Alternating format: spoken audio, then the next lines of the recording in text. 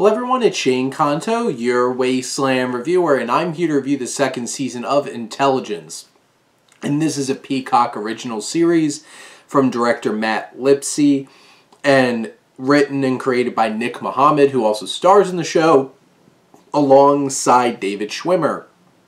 David Schwimmer being an NSA agent who teams up with a computer analyst in the UK government communication headquarters to try to take down terrorists and all kinds of fun stuff like that. And this is the second season here, and we find David Schwimmer's Jerry Bernstein stuck here in the UK. After the first season, you kind of figure out that like the US doesn't really want him back.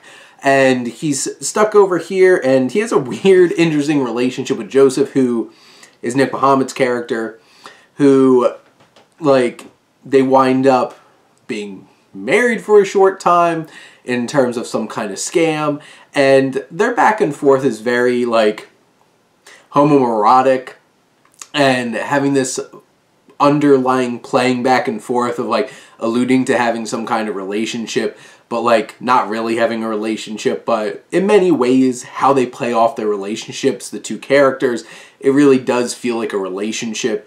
And you know you have uh, Christine Cranfield played by uh, Sylvestra Touzel, who like in charge of things, and you have a couple of other characters like Mary, played by Jane Stanness, who you kind of figure out at the end of the first season that she might have these connections to like the Russians, and they play with those. Like, I don't know if like that storyline feels like it really gets fleshed out as much and it really has a satisfying conclusion to it. But you have all the other characters as well. This is just six episodes and they're like 20, 21 minute episodes. So like this is a very brisk, quick series.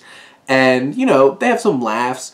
Schwimmer and Mohammed have some good chemistry together.